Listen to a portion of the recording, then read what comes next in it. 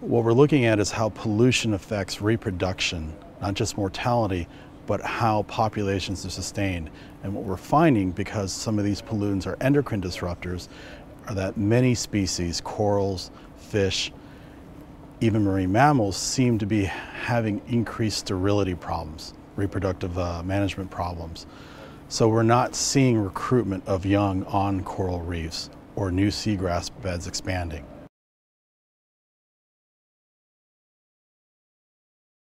What we do see is a decrease in corals on coral reefs. We do not see young corals being recruited onto coral reefs in many places in the Caribbean and many places in the Indo-Pacific. We see this decline in recruitment closest to places where people live.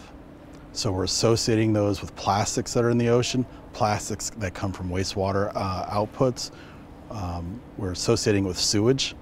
Um, in sewage and wastewater, you have a lot of pharmaceuticals, you have a lot of antibiotics, and you have a lot of hormones. Birth control pills um, are basically estrogens, and you can find huge levels of estrogens in the wastewater. They flow over coral reef, and they affect how corals reproduce.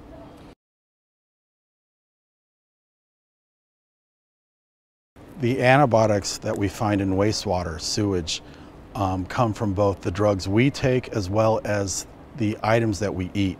So we eat chicken, we eat uh, beef, we eat pork, and oftentimes, depending on the sources, these meats are loaded with antibiotics and they pass through us back into the wastewater and then into the environment.